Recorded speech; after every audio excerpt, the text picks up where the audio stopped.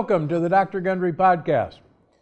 Well, if you've been following the Plant Paradox program for a while now, there's a good chance you've been spending more and more time in your kitchen. And of course, that's great. Because the truth is, it's nearly impossible to find healthy, lectin free meals dining out or ordering from your favorite restaurants. So, even the thought of healthy options such as salads, soups, or veggie dishes usually contain hidden dangerous ingredients like omega 6 oils or lectin bomb ingredients. And while you might occasionally come, come across a truly lectin free option, cooking at home is your best tool for finding success with my program. And my guest today knows just what I'm talking about. In a moment, I'll speak with Jesse, aka the sensitive vegan. After struggling with some pretty, pretty serious health issues, Jesse's been able to successfully turn his health around for the most part by following my Plant Paradox program. He now has his very own lectin free cooking channel on YouTube, which is how I discovered him where he shares his creative recipes in a step by step, easy to follow, and may I say, often very humorous manner. On today's episode, Jesse will share his impressive journey to health, tips for vegans on the Plant Paradox program, and professional cooking advice to help you cook your way to better health. Jesse, it's great to have you on the show, you sensitive vegan, you. Thank you. It's good to meet you. Nice to have you here. So, can you, why don't we start, give us, give everybody listening a little bit of your health background and health journey. What, what was going on in your life? So, I, you know, I, I considered myself a lactose ovo vegetarian for the longest time. Since, I guess, since 2010, I don't know how long that is, but uh, I made the conversion to vegan, veganism, and I was really into the weightlifting and working out all the time. And I just found after a while uh, on the diet that I was on, um, I started experiencing body pain. First, it was like my, my right shoulder, and I thought, oh yeah, I overdid it at the gym, lifting too much weights, trying to show off. And within a couple weeks, the left shoulder got sore. And then it, it moved to my right knee and then my left knee. And I obviously had no idea what was going on. And I, I saw all the doctors, the specialists. I you know, I checked with naturopaths, Chinese medicine, and I just had no assistance whatsoever for, I guess, looking at about three years. And um, yeah, I ended up losing, I probably lost over 40 pounds. Uh, I became pretty immobile and I just didn't have any answers. That's not so, good. Well, so, yeah. so it, when you were when you were and, and, you know this is a very common experience when you were seeing all the specialists, the naturopaths. I mean, what what were they telling you? What was the diagnosis? Did they want you to go on immunosuppressive meds? Blah blah blah. It's so it was so frustrating. Um, it was something different with each one. Obviously, now I know how uh, sensitive I am to these different compounds, uh, corn, corn and cornstarch being one of them.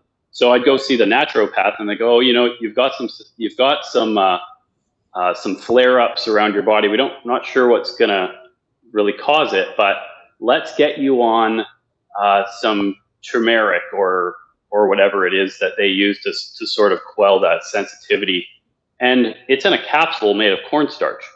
So I'm popping these every day and not getting better. And then uh, with the doctors, they wanted to rule out uh, bone cancer. So I got all these expensive tests done and all the time between visits, talk about maybe six months Canadian uh, medical system waiting between visits, and just really uh, wasted time as far as I was concerned because I was in pain this whole time and I was complaining about what I was experiencing. It felt like uh, it felt like injuries all over my body, and I was just, you know, seeking help and yeah, every all the testing that I was getting, all the elaborate sort of stuff that they were doing wasn't really helping. Now you've referred to yourself as a recovering soy boy. I, I love that. Uh, what what was your diet like back then? Okay, so I it was awesome. I loved my diet back then. I would get up in the morning before I go to work. I'd make myself a six shot espresso, uh, just kind of put that on the side, and I'd get some breakfast tacos, tacos going. They'd have chipotle, uh, homemade habanero salsa,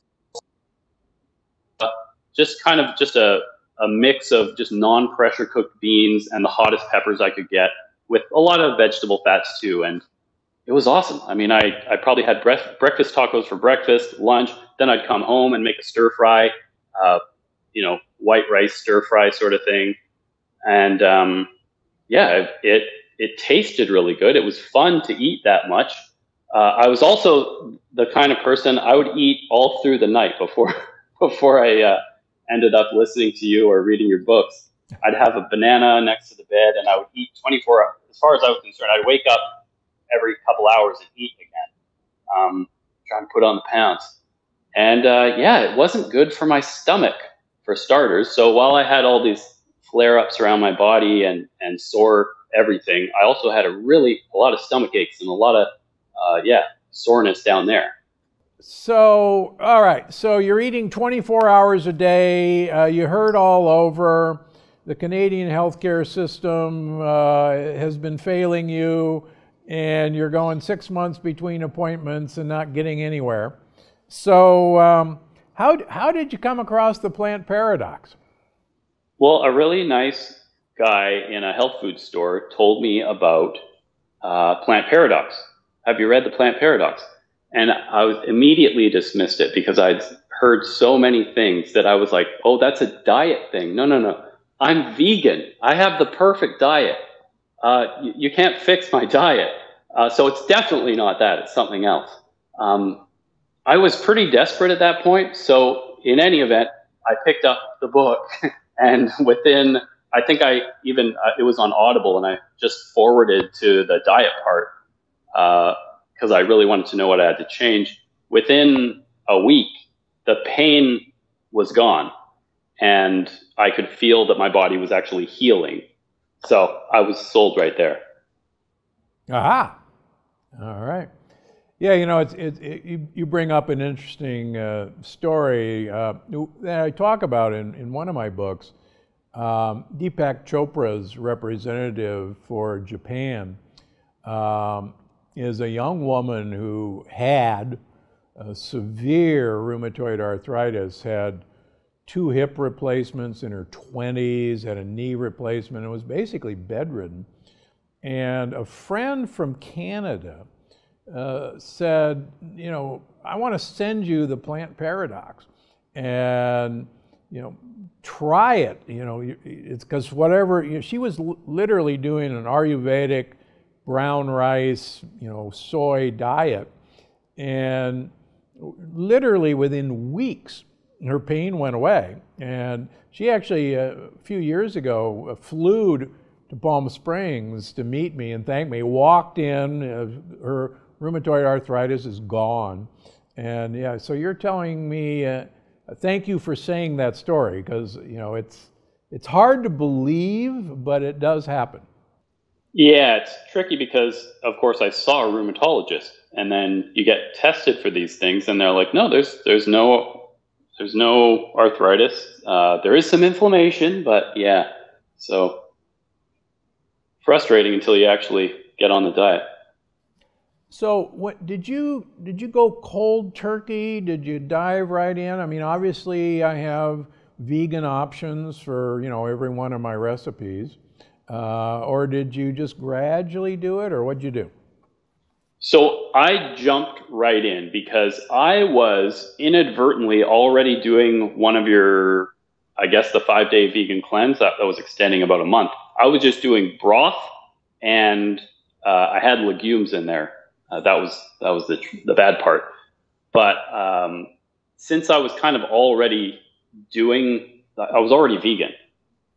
So yeah, it, it wasn't tough to just introduce these things that like sweet potatoes and yucca and stuff like that that I knew were okay according to your theory, and yeah, it, it worked right away. So I dove right in.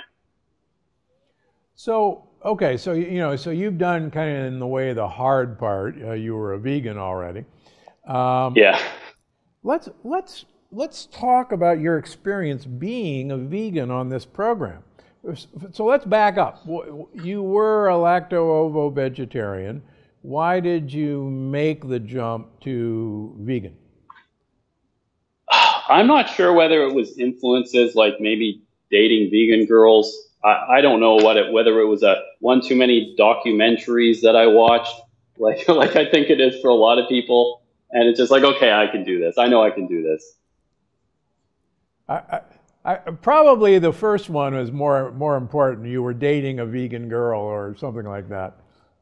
Yeah, I think that rubs off on a few people. so, but this so this wasn't. I mean, you want to save the planet or not, you know, not destroy animals, but it just seemed like a, a good idea all of the above. Once you you're kind of interested, like you know, I've heard this is good for health, and then you hear some of the arguments, and you see some of the some of the nasty stuff that happens with the factory farming, and you're like, you know, I don't want to support this. So I think it's a positive thing. Okay, so what was the what was the biggest struggle about being a vegan on the Plant Paradox program, or what is continuing to be the biggest struggle? Yeah, absolutely. The the two hardest things is vegan food. So all the all the pre-packaged vegan food products that you have in the grocery store that look so good uh, and taste so good are so not good for you because it's all the same. I don't know three ingredients, and it's they all it's the same thing. Once it gets in you, it's just going to cause the inflammation, and it's just not healthy. You have that plus the vegan restaurants that you want to go to, and there's absolutely nothing you can order there. Uh, so you just have to go for the salad at a restaurant. Maybe you can go, okay, can I have the fries today? It's been like a month since I've had nightshade, so I think I'm going to try the fries, and then I'll taking a gamble with the ketchup. And uh, yeah, so the trickiest part of being a vegan is just the vegan food is not compatible with the diet, which is why I, I came up with my own recipes. Yeah, I have. Uh, I have a um, a friend uh, in the in the Palm Springs area who has some has some vegan restaurants, and she's wonderful, and I adore her.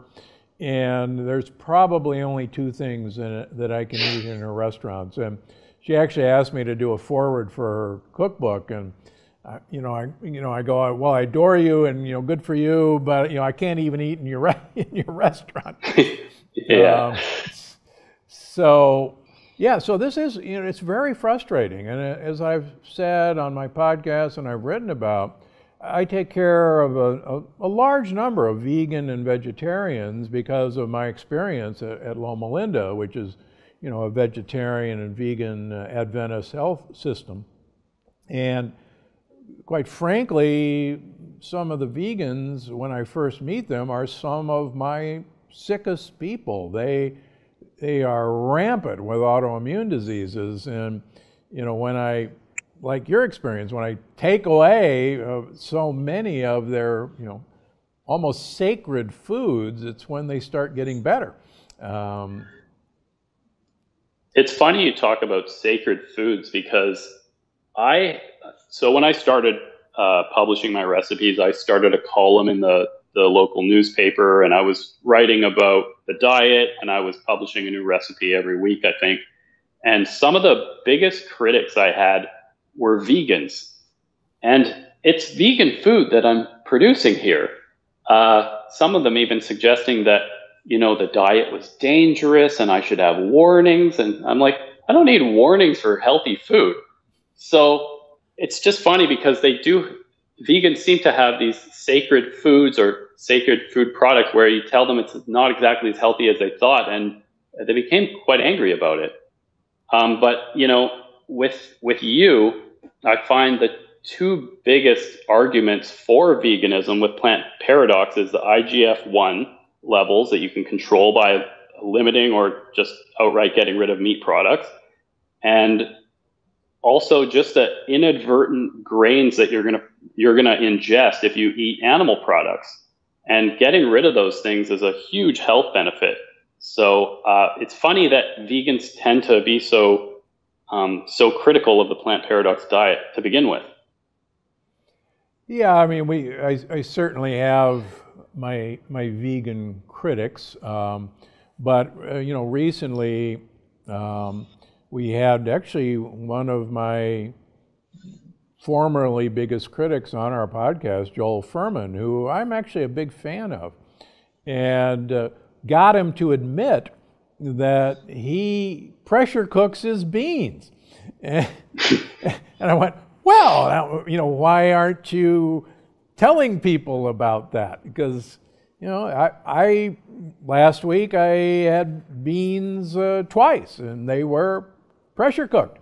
And you know, I'm not I'm not anti legumes. Uh, you just gotta treat them with respect. yeah.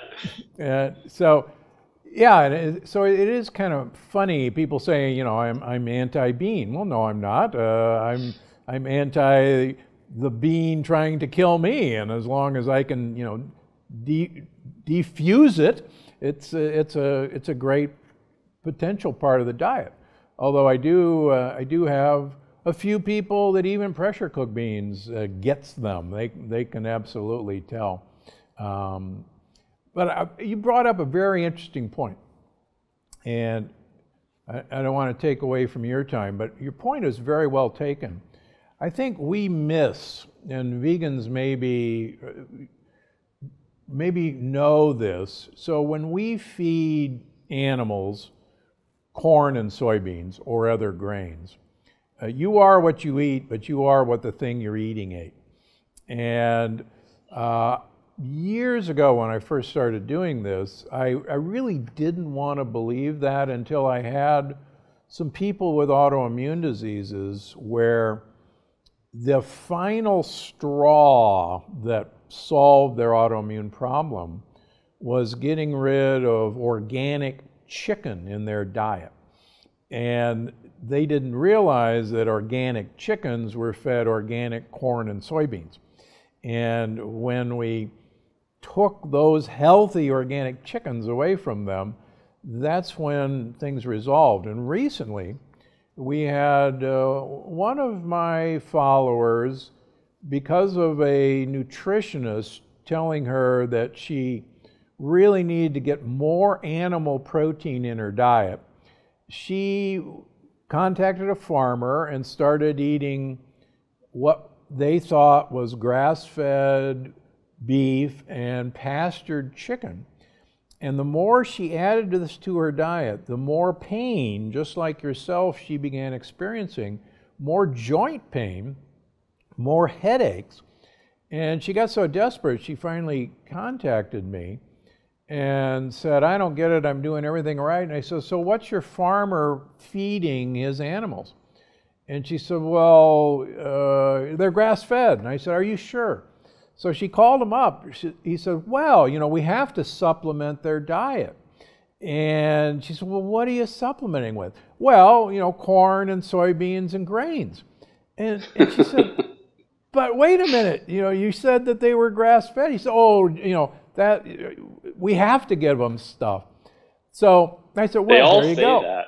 Yeah. And she, in five days, 70% of her pain was gone when she stopped eating that, that healthy food. So your point is very well taken. And to be honest, I tried the the egg thing myself. Um, you know, you get pretty desperate, even on the vegan diet. You get desperate. You want to try something else when things just aren't working for you. And I tried the egg thing, and yeah, within um, 30 days of it, I had this swollen left knee for no reason, and I just I it's the egg, so I just cut it out, and of course, you know, they're they're supplementing the diet with these things. All right. So, uh, how did you how did you come up with your YouTube channel? How did you get so funny? Are you a natural comedian? Are you a performer? Well, thanks for thanks for saying that. Uh, so, I think what I do is I, I want to bring value to people. I want to bring uh, these these recipes, but I want it to be fun. So number one, I'm always going to put the joke ahead of the uh, ahead of even the, the product. So it's going to be goofy all the time. It's I'm going to be an idiot. I'm going to say stupid stuff. I'm going to be arguing with my wife, and that's all going in the videos. Number one, it has to be entertaining because there's too many cooking shows out there where you're just watching the person, maybe the overhead of the stirring the thing in there, and it's just so boring. There's so much of it out there. So I want to do something that's very different, and uh, I'm glad that you agree that I'm funny. I hope your viewers will think so when you check out my videos.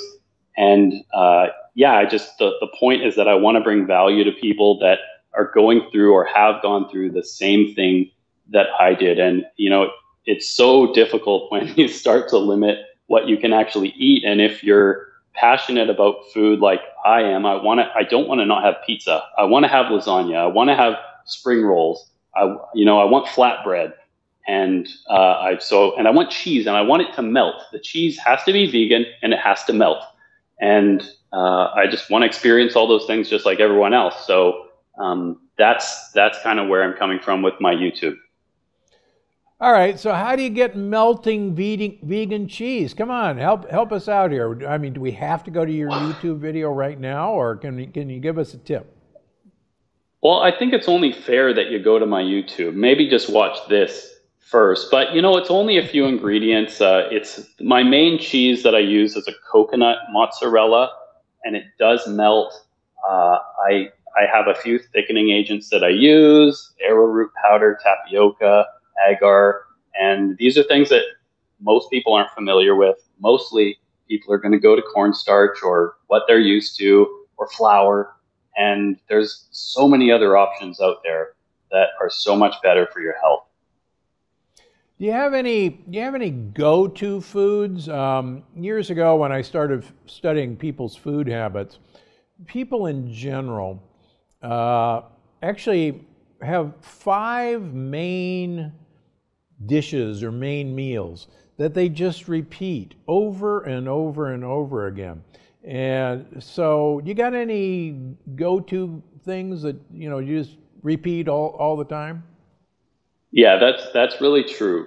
Uh, I'd have to say that uh, cassava flour flatbread is my go-to. Even when I'm not planning that that's going to be breakfast or lunch, it just is. And when you have some sort of spread, uh, I can show you. If you check out my uh, YouTube, I can show you a uh, uh, Brazil nut uh, sour cream, a vegan sour cream with Brazil nuts that you can spread on there, or maybe just do the olive oil and uh, balsamic vinegar, and it's so good and it's so easy that I, I eat it every day. Wow. Oh, you're making me hungry. We're we're going to pause here. We're go- we'll be right back. I'm I'm going to go to his YouTube channel. I'm going to find out how to make it. Oh, okay. We're, we're back. No. oh, here we are. We're we're just joking. All right, everybody talks about B12 in vegans. What say you? Okay, so I supplement that stuff uh, with Plant Paradox. Uh, if you are as sensitive as I am, uh, what you want to do is get the capsule and open it up into some cranberry juice. And yeah, don't just take the contents, not the capsule and I supplement it. It's that simple. I think there's a little bit in mushrooms, and yeah. uh, to be perfectly honest, I, I, you know, some of your past guests, including you, talk about having a biodiversity in your gut um, with the microbiome, and I every now and again I'll do the shellfish thing, I'll do the uh, halibut thing, uh, just to make sure that I'm healthy in my stomach. I don't want to be running into IBS because there's only one type of bacteria in there, or it's just not working for me. So uh, yes, I do. I do cheat on veganism uh, every now and again, and I'm totally comfortable saying. It. Ah, okay. Uh, that was going to be my next question. Um, we measure what's called the omega 3 index uh, in our patients, which basically looks at two months uh, of fish oil in, in your system. And there are, of course, now plenty of vegan sources for DHA.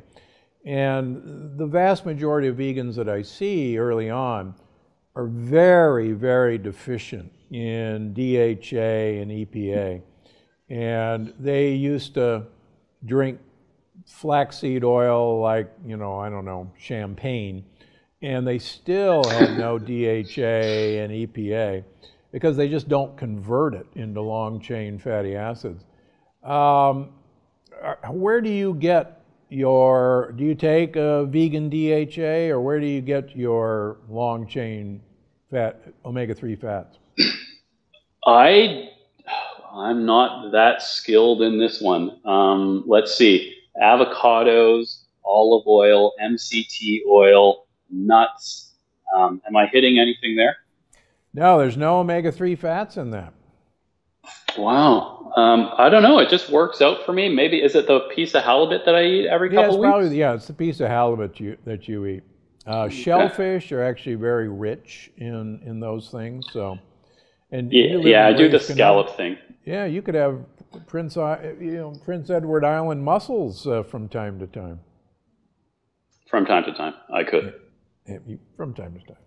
All right. Um, so let's get to your YouTube channel. Um, we, what was your inspiration for even starting it? Uh, like I say, you're, you're great at it, and I hope when people leave this podcast, they, they, you know they jump to your YouTube channel and get as entertained as I am watching it. So, what what started it? Well, I I wanted a side project. Uh, I just wanted something extra to work on. And to be honest, what word can I use?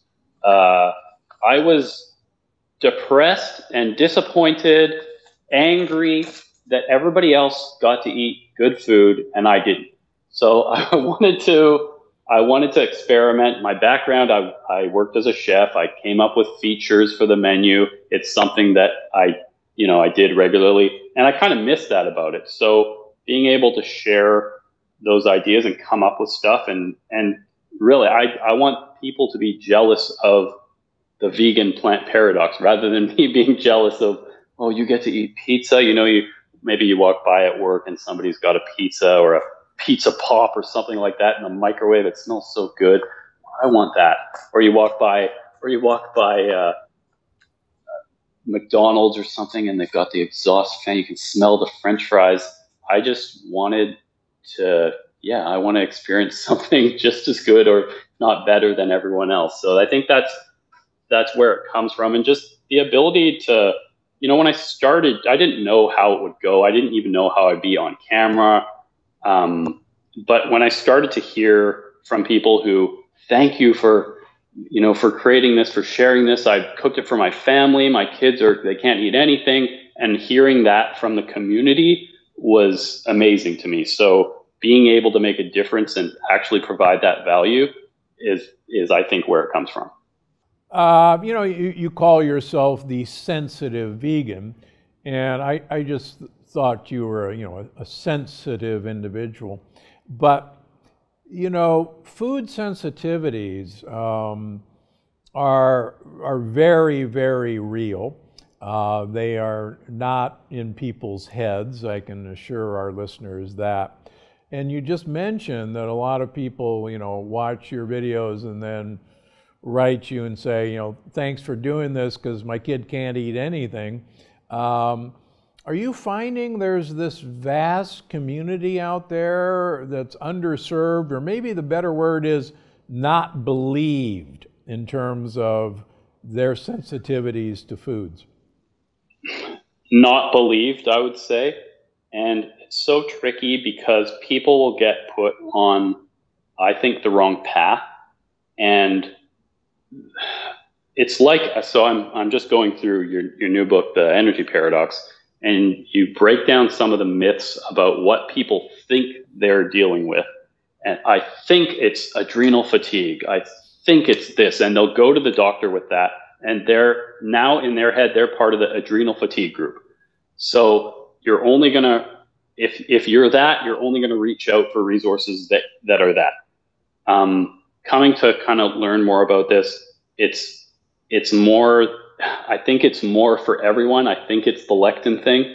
I I really do. So uh, people are going to come from different sort of schools of thought for what they're looking for, and it's difficult to reach everyone because they all have a different idea of what they think's wrong, and there's so few re- resources out there. So um, so that's I think what's difficult. Uh, if you, I mean, I do not have the biggest YouTube following.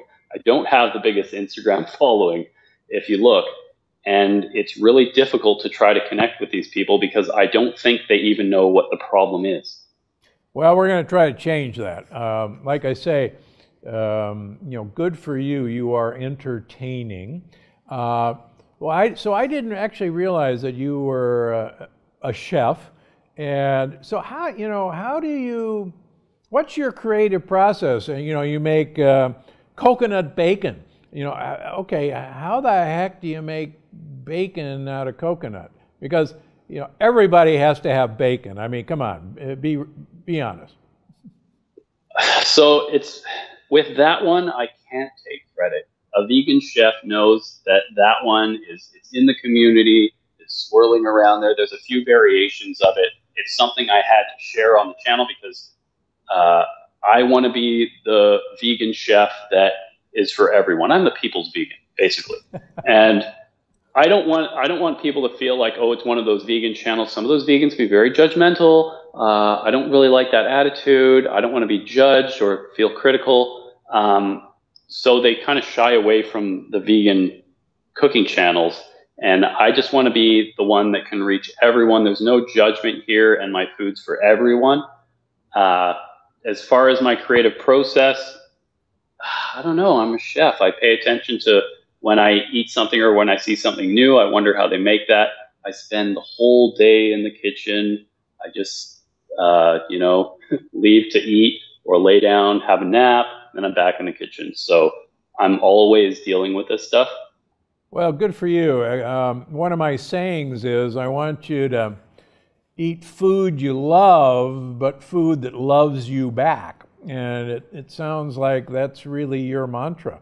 Um, because I've found that if, you know, if people like what they're eating, uh, they're more, more likely to stick with this. And and certainly my, my experience uh, as a professor at Loma Linda for many, many years, um, the Adventists were, were experts at making uh, mystery meats that uh, out, of, out of plants that actually acted as if you were eating, you know, animal-based meats. And in fact, one of, one of my funniest stories uh, my, my late partner, Leonard Bailey, who was chairman of the Department of Surgery, we had a Christmas party every year at a local hotel, and it was, in general, all uh, vegetarian food.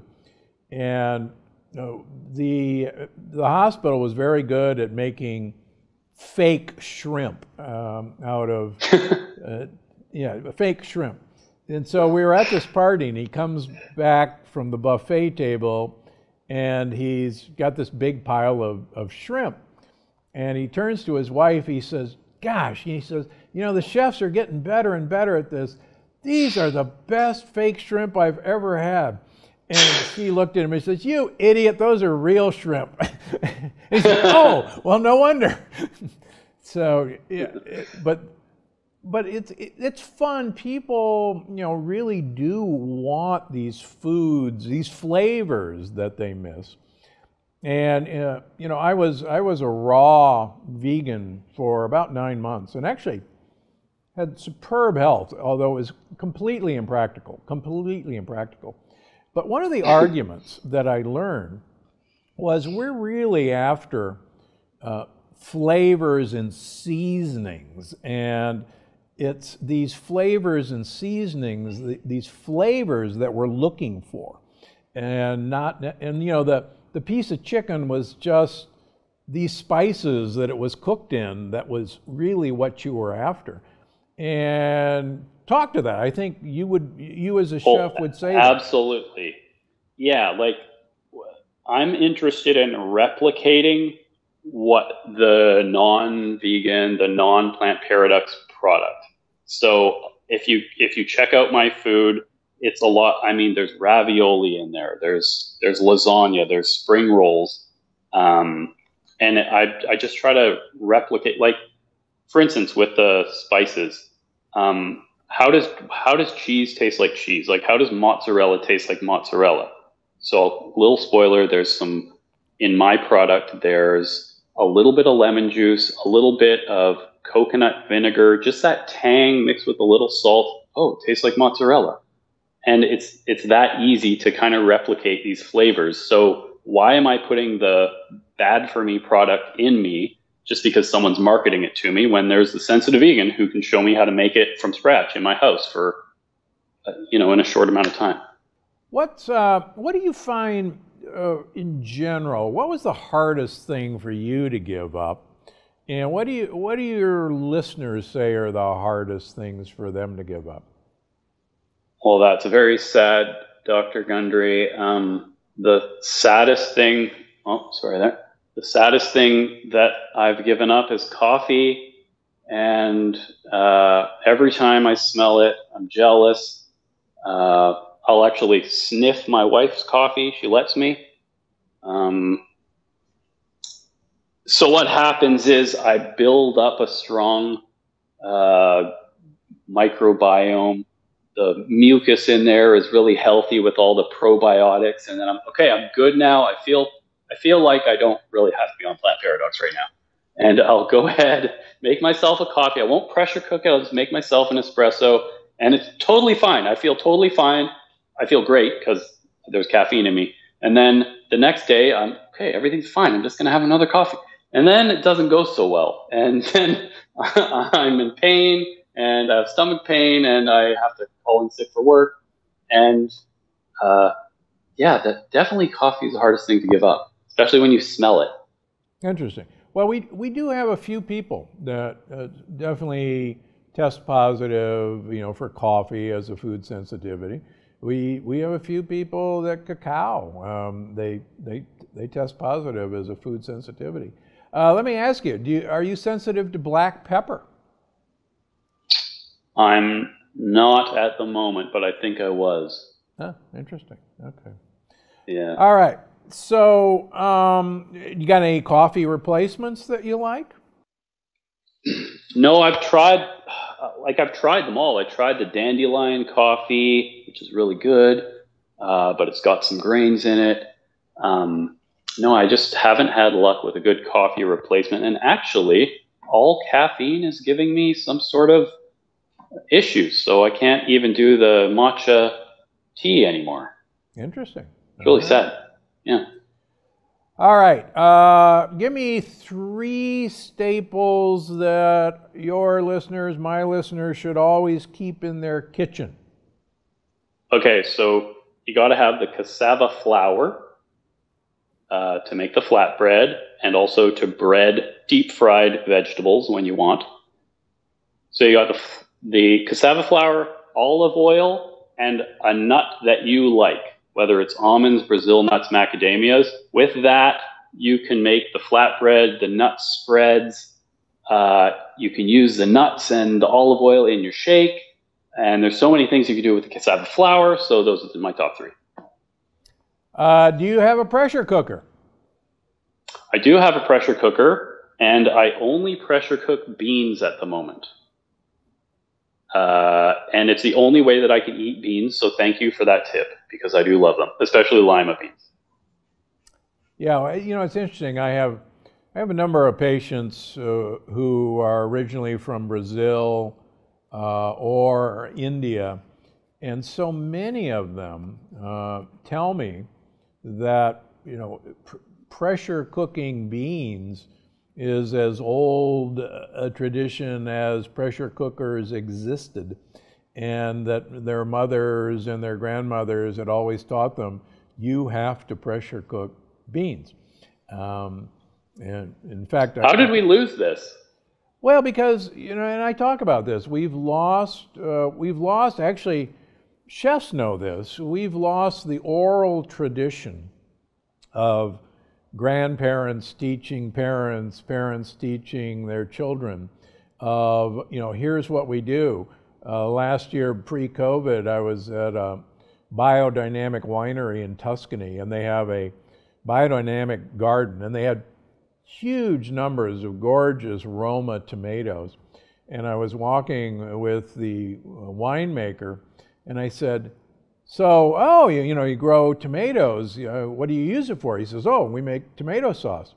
I said, "Well, how do you make tomato sauce?" And he says, "What do you mean?" I said, "Well, you know, you just throw the tomatoes in a pot." He said, "Oh my gosh, we would never do that. We peel and deseed the tomatoes. You can't make sauce with the peels and seeds. They're dangerous." I said, "Really?" I said, "Where did you learn that?" He says, what do you mean, where did I learn that? My mother taught me that. Where'd your mother learn that? My, my grandmother taught her that. And we've lost all these traditions. Yeah, I mean, you just go to the supermarket and there's your tomato sauce. That's what you get, whatever's on the shelf. Nobody really talks about it. Yeah, it's like I remind anyone who will listen the Incas ate a lot of quinoa, but they fermented their quinoa. They let it rot before they cook it and it's not yeah. on the package directions. Please ferment. It blows my mind that they came up with this. Yeah, yeah. You know, it's one thing to say, you know, here's this here's this food that these people lived on, and not investigate. Well, what did they do to that food that they were able to, you know, make use of it? So, oh well. yeah.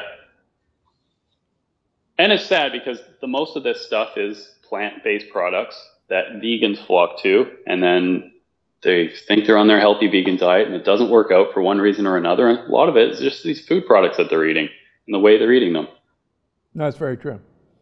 Uh, okay, what about dessert? Uh, you got any trick for satisfying sweet tooth? Okay, so with Plant Paradox, tell me if this is, you know, you you dissuade people from eating sugar and I, two things that happened is now I don't crave sugar at all after being on a diet. And I don't like, I don't crave eating at night either or early in the morning. So I don't personally have a sweet tooth, but my wife does.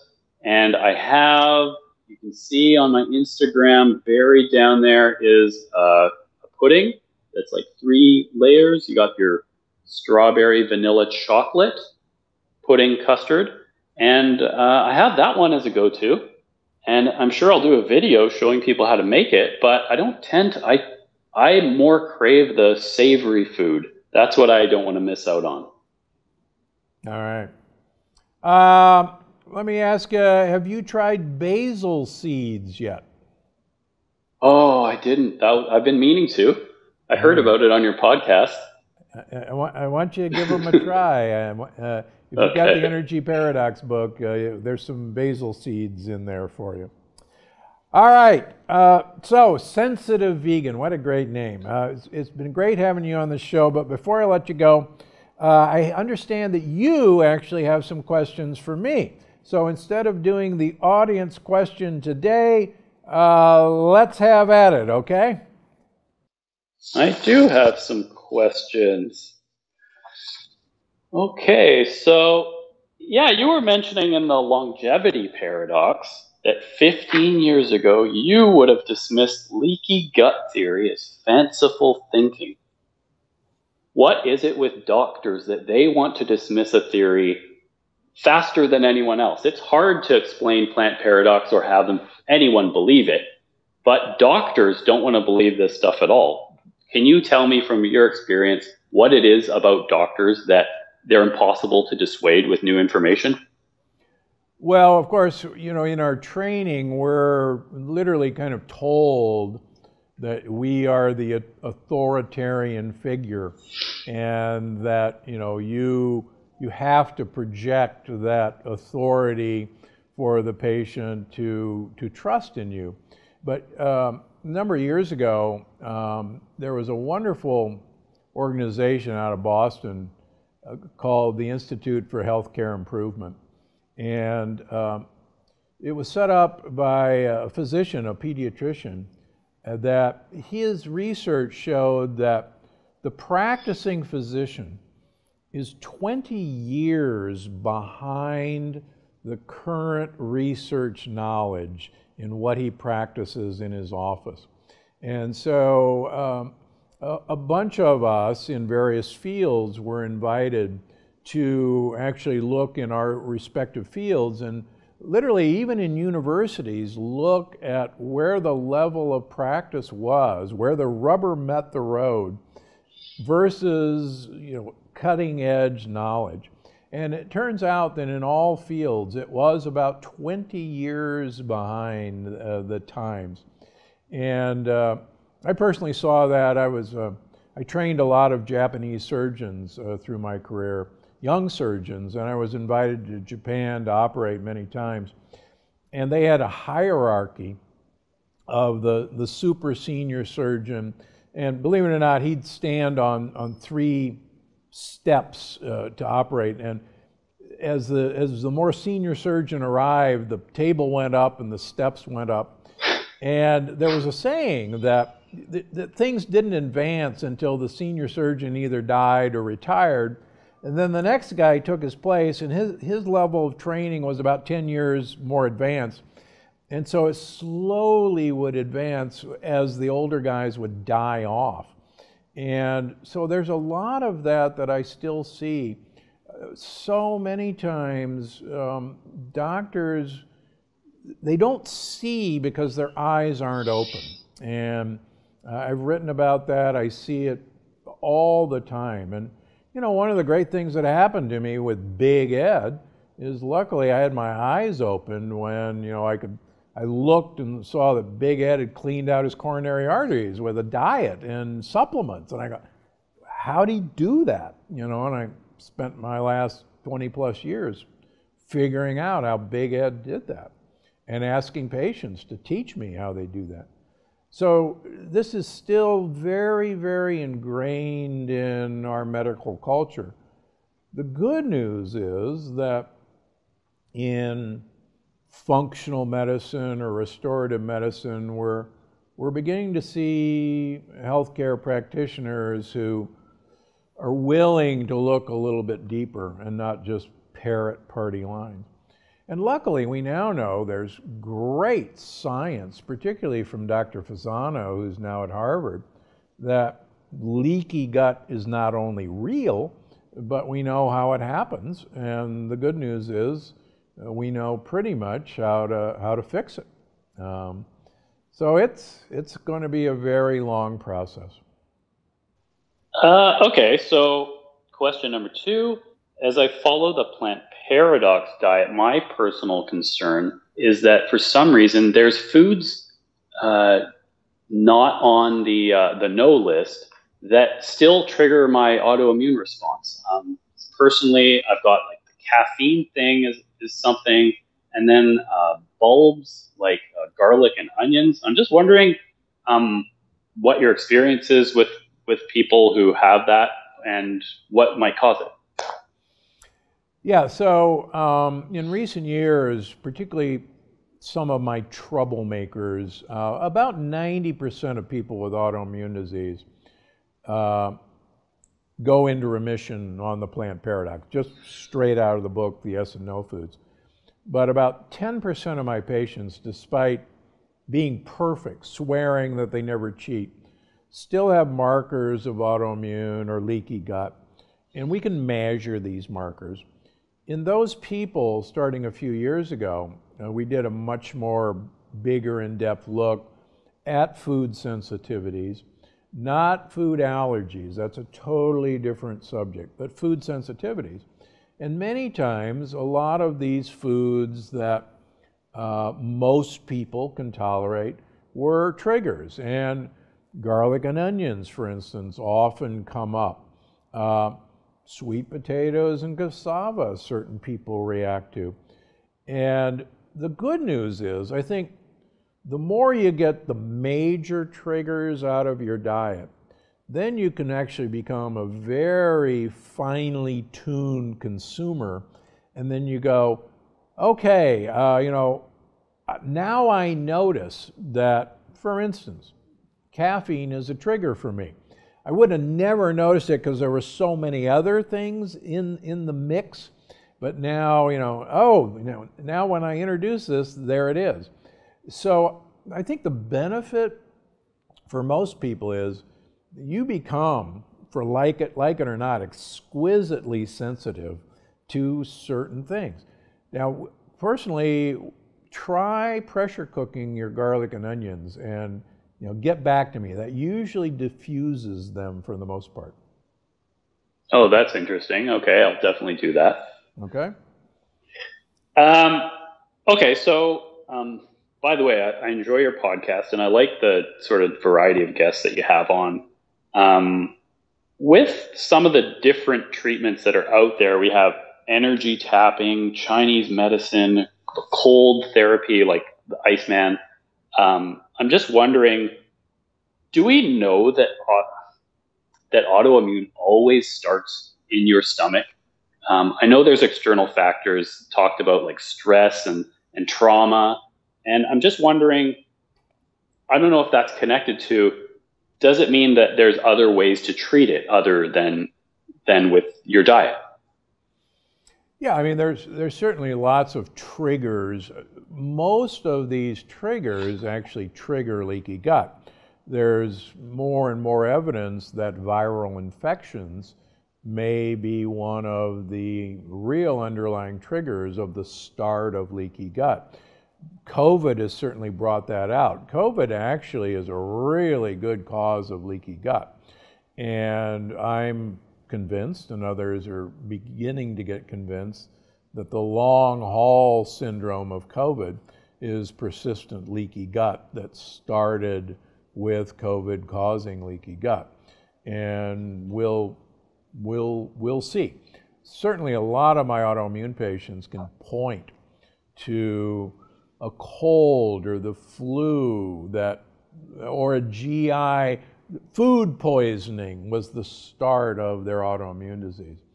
Um, certainly, my experience has been that once we seal leaky gut, and we can measure it, once we seal it, the vast majority, over 95% of autoimmune diseases uh, subside, go away. Now, can you flare it quickly? Yes, I've, I've done that on myself, uh, and I've written about that. Um, you, you always have to have your guard up, let's put it that way. Um, are you, yeah, uh, yeah, interesting, the Iceman and Chinese medicine, tapping. Uh, my next book is, uh, which I'm just finishing up, goes into how all these various modalities may play through a common factor. Uh, but if I told you what it is now, I'd have to kill you. Okay, fair enough. Sorry. I won't take that one. But that's a teaser for the next book, folks. All right. Well, Jesse, I'll, I'll tell you, I'll say your name one more time, but I know you're the sensitive vegan. All right. How do they find you? Where's the cooking channel? What what name do they use? I bet you it's sensitive vegan. Yeah, just don't forget to put the capital the on there. So uh, the sensitive vegan on YouTube. Please and thank you. Please. Uh, please subscribe, please like, please comment. I want to hear from you. Uh, check out my Instagram too. Uh, there's at least links to the recipes in there if they aren't in them, them themselves and a lot of cool photos. So check out The Sensitive Vegan on YouTube and Instagram for a start. Uh, Facebook also. Uh, and I appreciate that. Uh, what's next for you? Any exciting projects? That's tricky. Well, I've got my backyard garden project going at the moment, and if you check out the channel, it's a lot of chainsaws. It's a lot of building a garden. Uh, I have a plant paradox garden that I'm that I'm currently growing. It's coming along nicely, and I've learned that I really like chainsaws. So I'm uh, I've been using them frequently. And the next video is going to be a serious chainsaw video and a very dangerous video, actually. I, I can see a whole new YouTube channel, the Chainsaw Vegan. And, and if you use that, I want full credit, okay?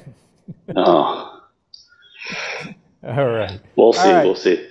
Sensitive Vegan, so great to have you. Please, folks, check out his YouTube videos and Instagram.